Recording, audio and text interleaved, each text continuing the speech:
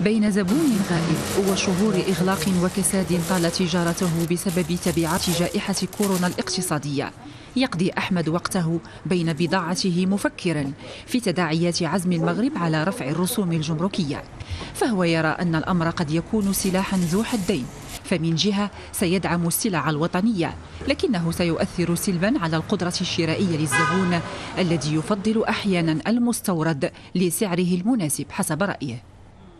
كون تيتير على المستهلك قبل كل شيء ولكن بالنسبة لنا حنايا تنتفضلوا يكونوا هاد السلعة ديال الداخل ديالنا حنايا نستعملوها. تكون انتاج ديال المغرب حر تكون منافسه ماشي قضية تجي من برا تجي لهنايا المستهلك لا غيضر أكثر. ضروري غتزيد عليه الأرباح ديالك.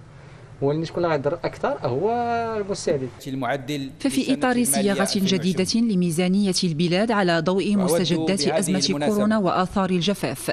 صادق مجلس النواب المغربي على مشروع قانون الماليه المعدل ببند يقضي برفع الرسوم الجمركية على المنتوجات المكتملة الصنع من 30 إلى 40% تدبيرا هاما يهدف لتعزيز حماية الإنتاج الوطني وتشجيع تعويض الواردات بالمنتوج المحلي.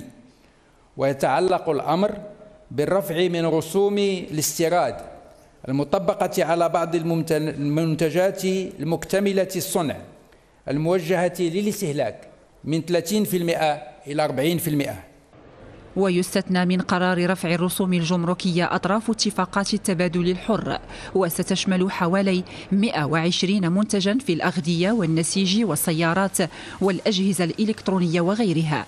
فيما سيرافق القرار إطلاق مشاريع اجتماعية من صندوق تدبير جائحة كورونا. لكنها إجراءات وإن همت دعم الإنتاج الوطني تثير تساؤلات آخرين. نجد أن أغلب الدول ذات التوجه الليبرالي أو النيوليبرالي تحرص على حماية اقتصادها الوطني. طيب في هذا الاتجاه تظل متفهمة ومقبولة. غير أن ما يطلب من الحكومة أو ما على الحكومة القيام به في المستقبل هو حماية المواطن كما تحمي الشركة عليها أن تحمي المواطن من جشع الشركة. الأمر يتطلب بلورة مخطط استعجالي مندمج يرتكز على ثلاث مرتكزات.